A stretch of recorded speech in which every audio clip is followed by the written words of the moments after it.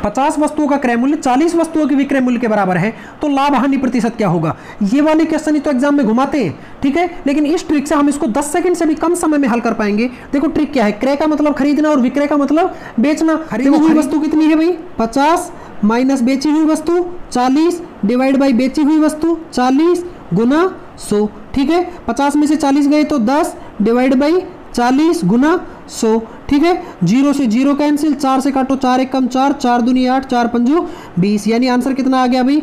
पच्चीस प्रतिशत आ गया। अगर आंसर प्लस में आए तो होगा लाभ। और आंसर अगर माइनस में आए तो होगी हानि। ठीक है भाई? अगर आपको ट्रिक पसंद आई हो तो वीडियो को लाइक और चैनल को सब्सक्राइब ज़रूर कीजिएगा। Thank you